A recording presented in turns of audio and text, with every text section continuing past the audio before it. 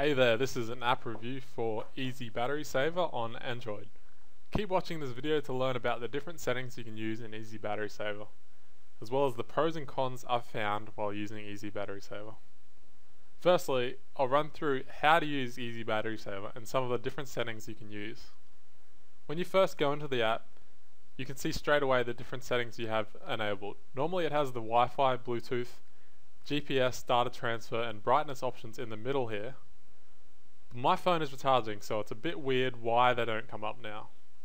These settings can normally be quickly adjusted just by tapping them. Before I go into the different battery saving modes that you can use, I'll quickly look at these menu options down the bottom. Optimization takes you to the same page as if you clicked the current mode back on the home page. Consumption shows you what's been using the most battery on your phone. This is very handy to see if an app has been draining all of your battery. And finally, tools just normally shows you a couple other recommended apps, but we'll ignore them anyway. So the different battery saving settings you can use include normal battery mode,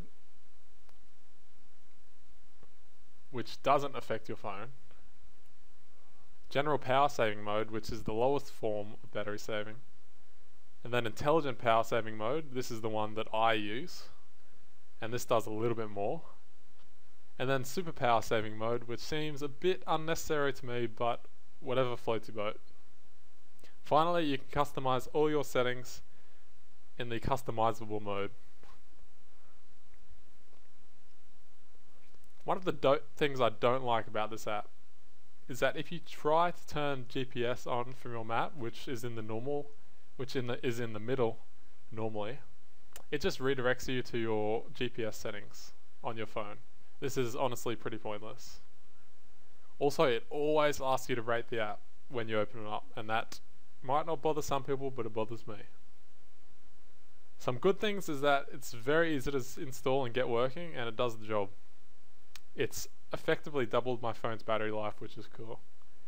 The interface is also really clean and easy to use, as you can see, I've pretty much taken you through the whole app in about a minute, so it's really not that hard to use. It may be tough at first deciding what battery saving settings you want to use on your phone. I was hesitant at first to allow Easy Battery Saver to access each app to save battery, but in the end I allowed it and I've had no problems actually using it. I would definitely recommend using Easy Battery Saver if you want to save battery life on your Android.